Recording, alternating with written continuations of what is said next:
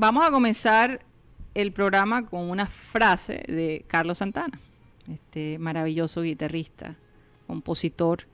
En fin, es un, ser supremamente especial. Además, sabes, perdió a su hermano hace unos días atrás, ¿no, Mateo? No, no, unos meses atrás. Hace unos meses atrás. Bueno, la frase de él dice así.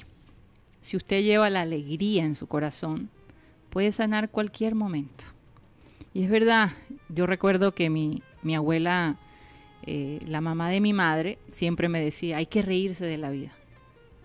eso cura, eso cura. Y, estamos hablando de una persona que tiene 88 años, que ha perdido seres importantes en, su vida y siempre la ves con una sonrisa y con una actitud positiva. Eh, y yo creo que la música de Santana representa ese positivismo, ¿no? esa, esa, alegría. Esa alegría.